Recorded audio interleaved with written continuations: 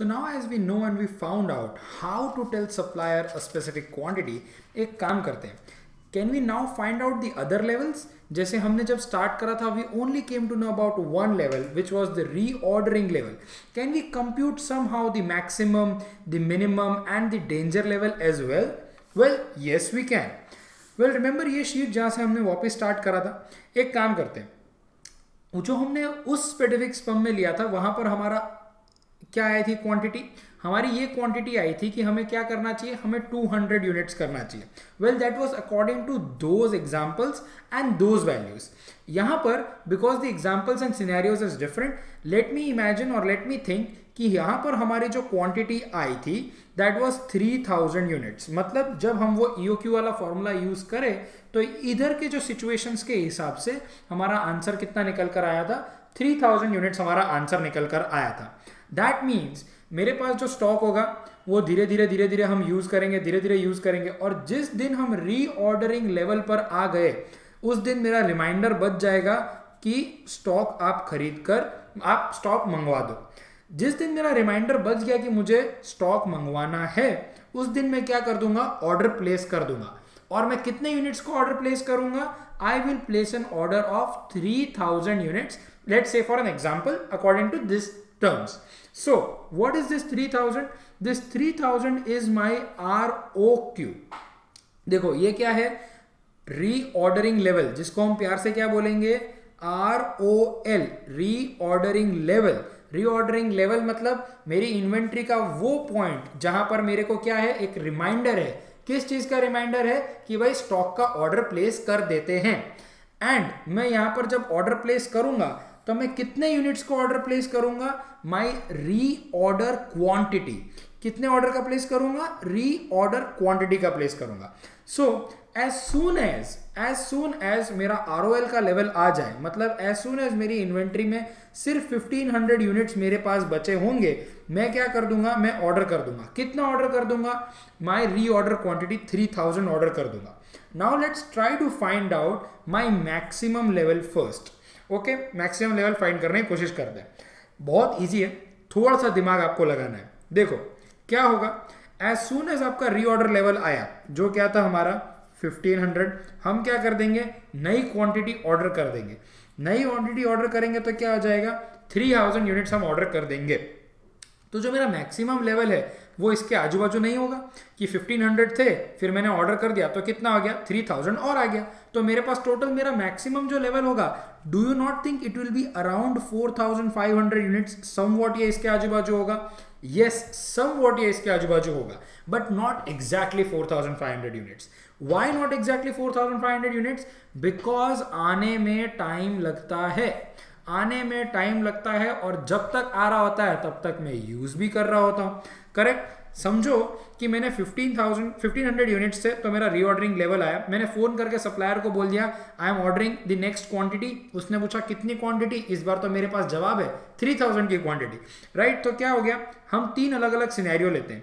Scenario number one 1500 का हमारा level था हमने 3000 का ऑर्डर कर दिया। जैसे ही हमने ऑर्डर करा जैसे ही हमने ऑर्डर करा कि इस बार तो भगवान की कृपा हो गई। ऑर्डर आया कब? मिनिमम टाइम में और जब तक ऑर्डर आया था ना, तब तक हमने यूजेज भी मिनिमम करा था। तो क्या हो जाएगा? जब तक ऑर्डर आने में कितने दिन लगे? ऑर्डर आने में एक दिन लगा। और एक दिन में मैंने यूज़ भी कितना करा? तो हमने देखा हंड्रेड ही यूज़ करा था। तो क्या हो गया? पंद्रह सौ था। आने में कब लगा? एक दिन लगा। पर उस एक दिन में हमने क्या करा? One into hundred units use कर लिया। तो एक्चुअली क्या था? 1500 से पहले 100 माइनस हुए और हमारे पास क्या रहे? 1400 रहा। 1400 में फिर अगले ही दिन कितना आ गया? हमारा 3000 की क्वांटिटी आ गई तो 4400 करेक्ट सो मेरा मैक्सिमम लेवल क्या होगा? मेरा मैक्सिमम लेवल होगा, अगर फॉर्मूला टर्म्स में मैं लिखूं तो R O L reordering level plus reordering quantity minus minimum usages into minimum lead time well आप सोचोगे minimum usages into minimum lead time क्यों माइनस करा? एक काम करते हैं, हम कोई दूसरा करते हैं। तो अगर हम दूसरा करेंगे तो हम सोचते हैं, चलो एवरेज एवरेज करते हैं। देखो, अगर आप एवरेज एवरेज करोगे तो क्या होगा? आपका आज स्टॉक कितना है? आज हमारा स्टॉक 1500 है, तब हमने ऑर्डर कर दिया। ऑर्डर करेंगे तो कितना आने वाला है? कुछ दिनों बाद तीन हज़ार आने वाला है। अब वो कुछ दिन आपने क्या मान लिया? चलो एवरेज मान लेते हैं कि एवरेज दिन लगे और यूजेज भी हमने एवरेज करा, हम ऐसा मान लेते हैं। तो क्या हो जाएगा हमारा यहाँ पर? 1500 था, आने में तीन दिन लग गए। और हर दिन हम कितना यूज़ कर रहे हैं? 200 यूज़ कर रहे हैं। तो हमारा कितना कम हो गया? 600 कम हो गया। दैट मीन्स 1500 में से 600 गया 900 प्लस 3000 तो मेरा जो लेवल आया, ये कितना आया? 3900 which is not my maximum possible quantity मेरी मैक्सिमम पॉसिबल क्वांटिटी क्या है? कि भाई मेरा आर ओ एल पंद्रह मेरा आर ओ क्यू तीन हज़ार। और इसके बीच में, इसके दौरान मतलब जब तक ये तीन हज़ार मेरे पास आता है, तब तक कम से कम यूज़ हो जाए तो ही मैं मेरे मैक्सिमम लेवल तक पहुँच पाऊँगा। देखो, मैं जानबूझ के कम से कम यूज़ नहीं करूँगा। पहले ही बताया हूँ, ये मैक्सिमम लेवल कोई बहुत खुशी वाली बात नहीं है, कि मैक्सिमम लेवल है तो हम बहुत हैप्पी हैं। ऐसा नहीं है। ये सिर्फ़ स्टैटिस्टिक्स एंड सिर्फ़ पॉइंट ऑफ़ व्यू इससे कोई डिसीज़न मेकिंग नहीं हो रहा है। इससे सिर्फ़ स्टैटिस्टिक्स हो रहा है। ये स्टैटिस्टिक्स क्या बन रहा है पता है आपको? कि मेरे टंकी का मैक्सिमम कितना होना चाहिए? कितनी बड़ी टंकी बनाऊँ मैं? तो मेरा आंसर ये है कि भाई 1500 के लेवल पर अगर आप हमेशा ऑर्डर कर देंगे और आप ऑर्डर 3000 करने वाले हैं तो समझो क्या हो जाएगा? ऑर्डर आने में मिनिमम टाइम कितना है? एक। और मिनिमम आप कितना यूज़ करोगे? हंड्रेड दैट मीन्स आप पाँच चार हज़ार सौ की जगह चार हज़ार चार सौ की भी टंकी बना सकते हो। क्योंकि जब तक ऑर्डर आएगा तब तक आपका क्या हो जाएगा? 100 यूनिट्स कंज्यूम हो जाएँगे। So the correct maximum level maximum level is only a hypothetical point कि कहाँ तक मेरा वो जाएगा? कब तक मेरी टंकी कब मैक्सिमम मेरे को दिखेगी? सो so, मेरी टंकी कब मुझे मैक्सिमम दिखेगी? नॉट एट दिस पॉइंट क्योंकि इस पॉइंट में क्या हुआ? इस ये जो तीन हज़ार आने के दरमियान जो यूजेज था वो तो हुआ ही नहीं। और वो इसमें क्लियरली रिफ्लेक्ट हो रहा है। अब दरमियान मुझे क्या यूजेज सेट करना चाहिए तो मेरा मैक्सिमम पता चलेगा मुझे? मेरा मिनिमम मिनिमम मुझे सेट करना चाहिए। करेक्ट तो ही मुझे पता चलेगा। करेक्ट सो so, मेरे मैक मेरी मैक्सिमम लेवल की फॉर्मूला क्या हो गई? अगर कोई मुझे पूछे what can be the maximum level of stock पूरे साल में हमारा मैक्सिमम लेवल ऑफ़ स्टॉक क्या जा सकता है? तो आर एल पे जब हम ऑर्डर कर देंगे आर क्यू को और जब तक ये आए तब तक बहुत ही मिनिमम बहुत ही मिनिमम हमारे यहाँ पर एक्टिविटी होए तो ही हम मैक्सिमम लेवल पर हमारी टंकी जाएगी। वरना अगर एवरेज एक्टिविटी हो गई या मैक्सिमम एक्टिविटी हो गई तो कभी भी हमारा ये जो जाएगा ना, ये कभी भी मैक्सिमम लेवल तक नहीं पहुँच पाएगा। Okay so we found out maximum level मैं क्लियरली आपके लिए फॉर्मूलाज एक दूसरे सेपरेट पेज पे लिख देता हूँ क्लियर ताकि आप डिस्टिंग्विश कर पाएँगे। So what is our formula for us our maximum level what is our maximum level maximum level is reordering level जो हमारा रीऑर्डर लेवल था, उसमें हम क्या कर देते हैं? रीऑर्डर क्वांटिटी मंगा देते हैं। माइनस हमारा क्या हो जाएगा? Minimum usages into minimum lead time ताकि कम से कम माइनस हो इस टाइम में, ताकि मेरा जो लेवल निकले, वो सही में मेरा मैक्सिमम लेवल निकले। Okay now we have understood कि हमारा मैक्सिमम लेवल क्या है। अब समझते हैं हमारा मिनिमम लेवल क्या है। तो मिनिमम लेवल हमारा क्या होगा? रीऑर्डर लेवल री देखो, एक बहुत सिंपल चीज़ मैं आपको समझा देता हूँ। रीऑर्डर लेवल का है? यहाँ है। मैक्सिमम पे जाना है तो क्या होएगा? रीऑर्डर लेवल प्लस कुछ। इसलिए री मैक्सिमम की फॉर्मूला क्या है? Reorder level plus reorder quantity कुछ प्लस करना पड़ेगा ना, आगे जाने के लिए। और रीऑर्डर लेवल से नीचे आना है, क्योंकि हमारा मिनिमम तो क्या है? रीऑर्डर लेवलिंग के नीचे है। तो हमारा मिनिमम लेवल की क्या फॉर्मूला होगी रीऑर्डर लेवल माइनस क्योंकि हमें नीचे की साइड आना है। Reorder level minus average usages into average lead time well आप यहाँ पर मेरे साथ थोड़ा सोच के लड़ सकते हो। कैसे लड़ोगे मैं आपको बताता हूँ। आपने मुझे क्या बोला? या आप क्या सोचोगे? देखो सर मैक्सिमम लेवल जब हमने डिसाइड करा ना, तब हमने रिड्यूस क्या करा? मिनिमम रिड्यूस करा। क्योंकि मिनिमम रिड्यूस करने से ही क्या होएगा? मैक्सिमम बनेगा। तो सिमिलरली मिनिमम लेवल के ऊपर हमें क्या करना चाहिए था? R O L minus maximum usages into maximum lead time तो ही हमारा होता। पर अगर आप ऐसा करोगे बेटा maximum usages into maximum lead time तो आप क्या निकाल रहे हो? एक तरीके से आप आर ही निकाल रहे हो। समझो, आपका आर क्या है? Maximum usages into maximum lead time तो आप क्या कर रहे हो? आर में से आर ही माइनस कर रहे हो। वेल कन्विंसिंग आंसर तो मैंने आपको यहाँ नहीं दिया बट स्टिल मैं आपको एक आंसर देता हूँ। वो ये है दैट हमारा ये जो एवरेज होता है ना ये ना सिर्फ़ एक मैथमेटिकल एवरेज नहीं है मिनिमम और मैक्सिमम के बीच में। ये बहुत साइंटिफिकली थॉट और बहुत बार ऑब्ज़र्व करा हुआ है।